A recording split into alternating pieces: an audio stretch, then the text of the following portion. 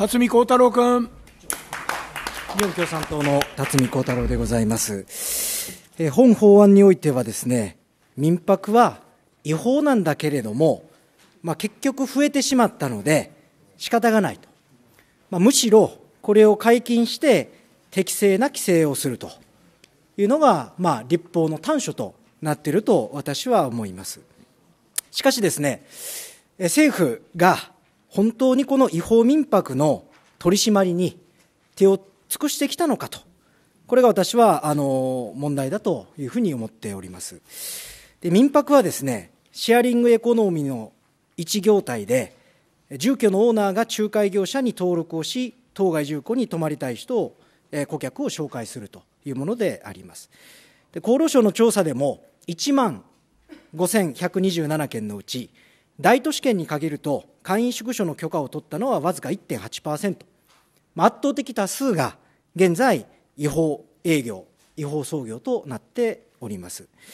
で、この違法営業をさせない、今現在ですね。一番有効な手立ては、これ未然に防ぐことであります。つまり、仲介サイトに違法物件、つまり、会員宿所などの許可を得ていないものを掲載しないことであるというふうに思います。そこで厚労省にお伺いしますけれども、まあ、このことに関して、まあ、5万件以上が登録をされていると、こう報道もされておりますけれども、どのような対策を取ってきたんでしょうか？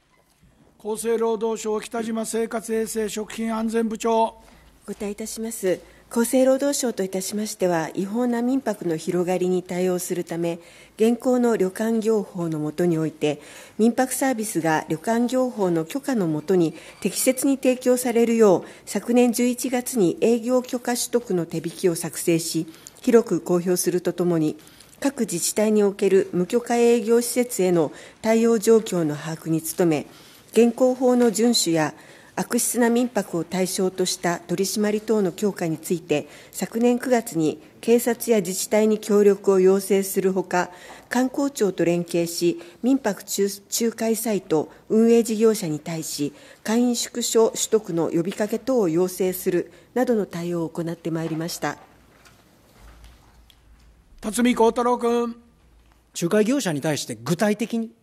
どういう要請を行ってきたんですか？北島部長。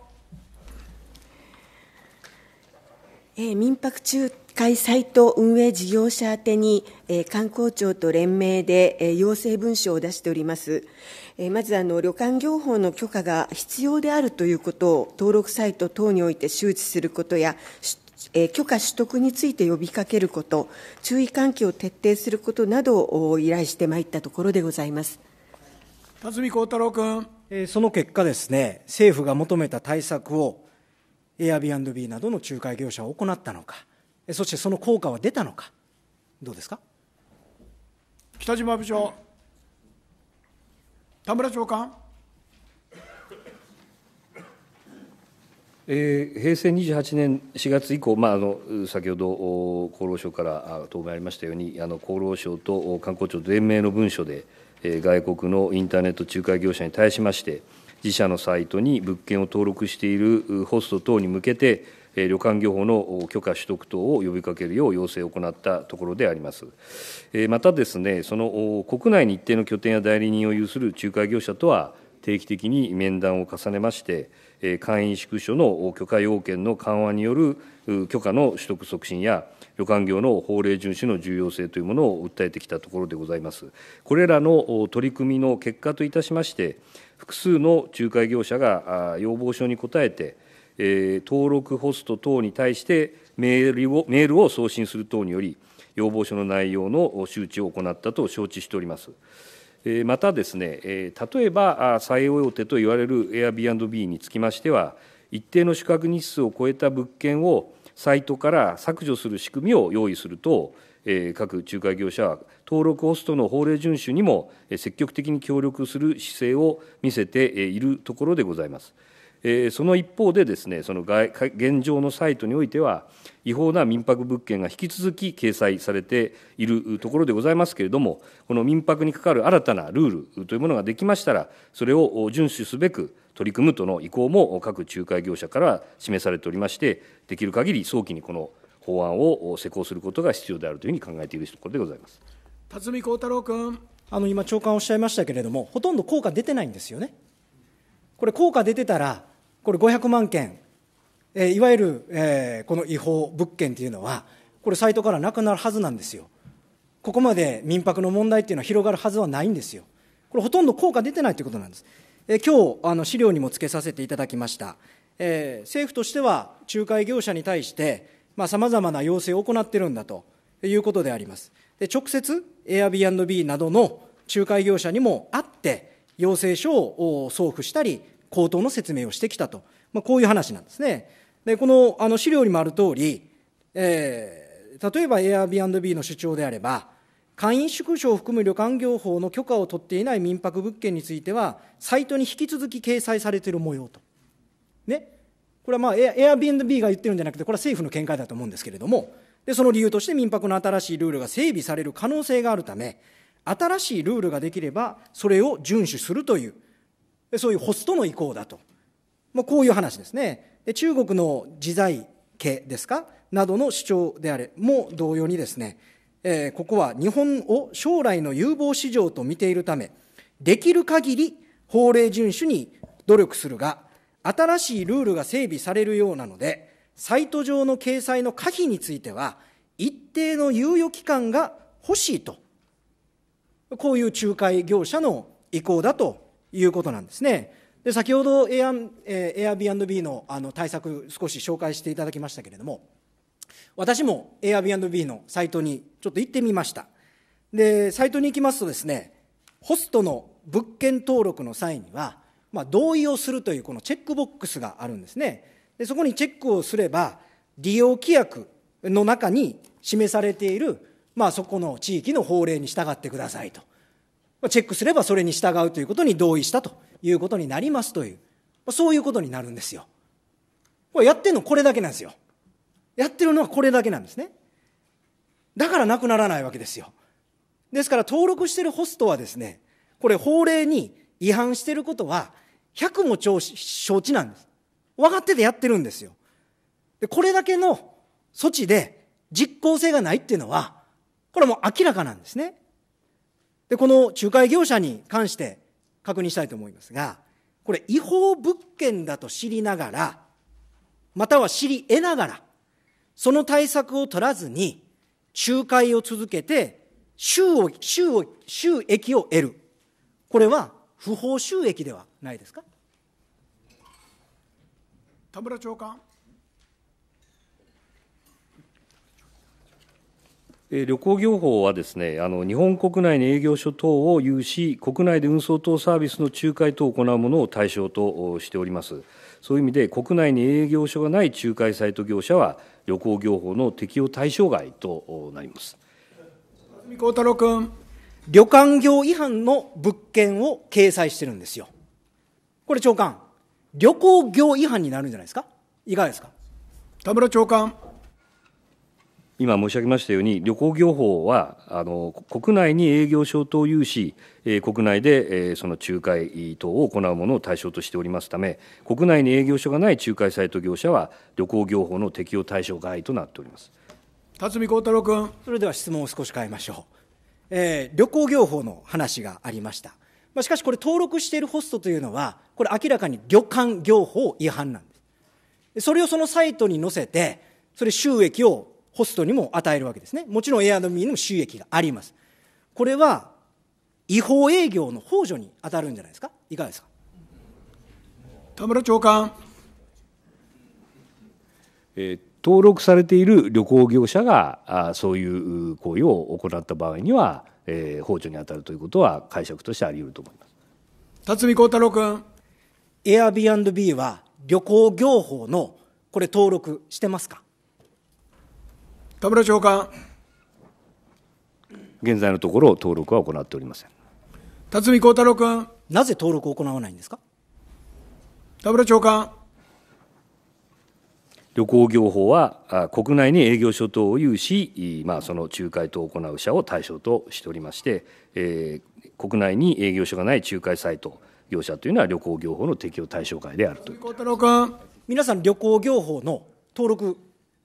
要請してきたんじゃないですか、A&B に。どうですか？田村長官。旅行業法のですね、えーまあ、違反というものについて、えー、海外に本拠を置き、国内に営業所がないものについては、実効ある、まあ、取り締まりというものは担保できないということであります辰巳孝太郎君。ですから皆さんは Airbnb に国内に事務所を置いて、旅行業の登録をせえということを求めてきたんでしょ？その事実関係、イエスかノーかだけ。田村長官。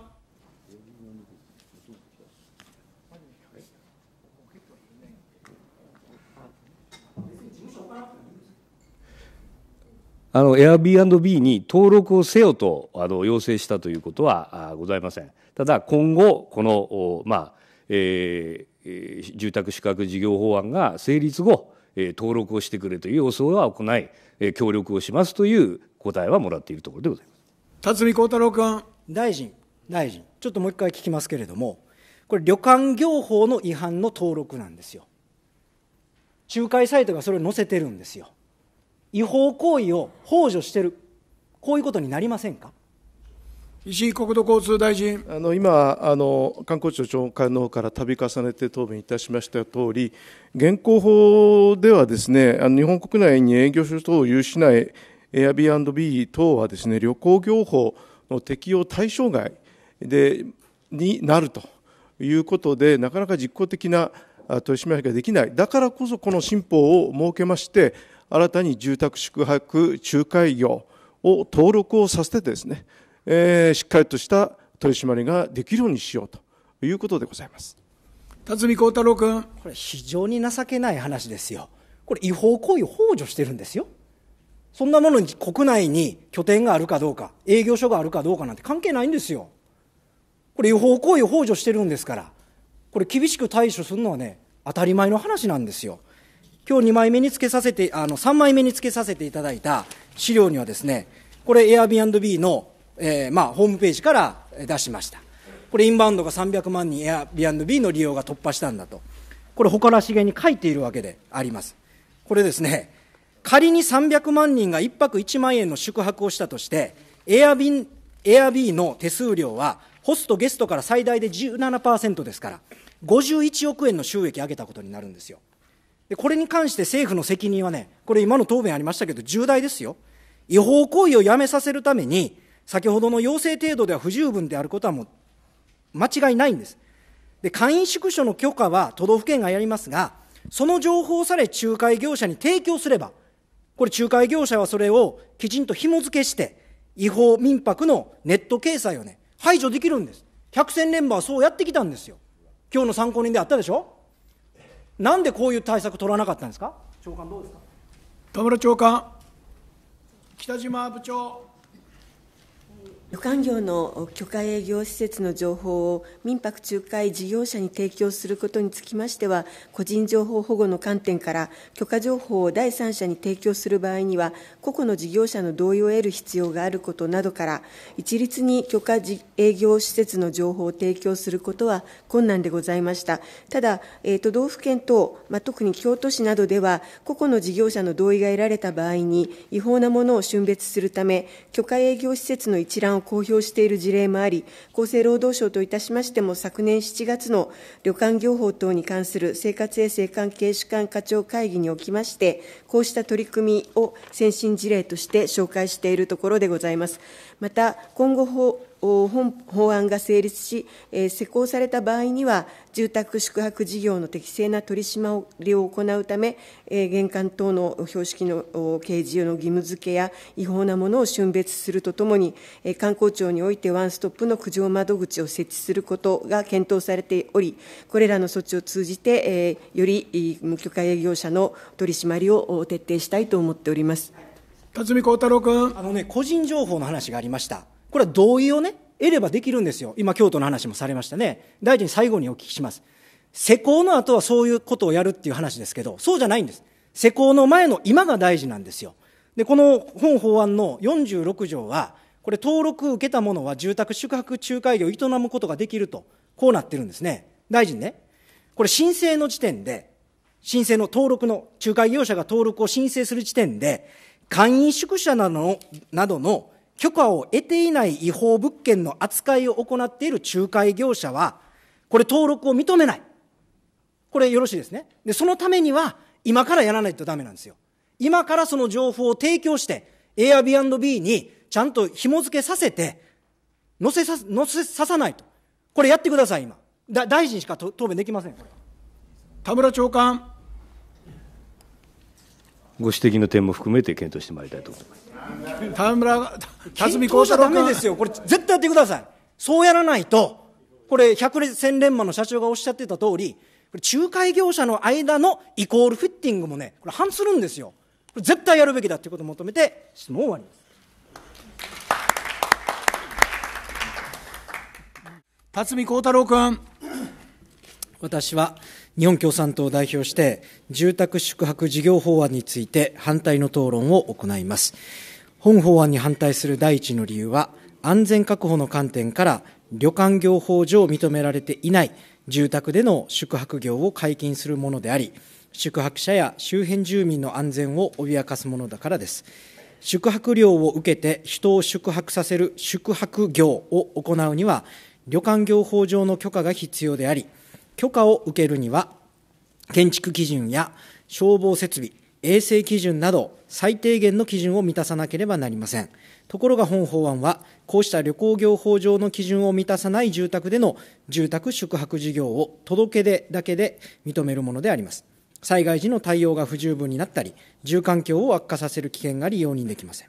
反対理由の第2は、本法案がすでにはびこっている違法民泊の現状を追認するものであり、問題を拡大させこそすれ、解決にはつながらないからであります。違法民泊は全国で5万件を超え、宿泊者と周辺住民との間でトラブルを引き起こし、地域に住民が住めなくなる事態まで起きており、地域の破壊につながるものです。こうした違法民泊を解禁合法化することは本末転倒と言わざるを得ません。違法民泊がはびこる背景には、国内外の民泊仲介業者がインターネットにおいて違法物件、つまり旅行旅館業の許可を得ていない物件を掲載している実態があります。政府は仲介業者が違法行為を幇助していると認識しているからこそ、仲介業者にその対策を要請をしてきました。ところが、一部大手仲介業者はそれに応じず、政府も事実上それを容認し、実効ある取り締まりを行ってこなかったことも明らかになりました。今行うべきは新法制定ではなく、政府として違法民泊への取り締まりを強化することであるということを申し述べ、反対討論といたします。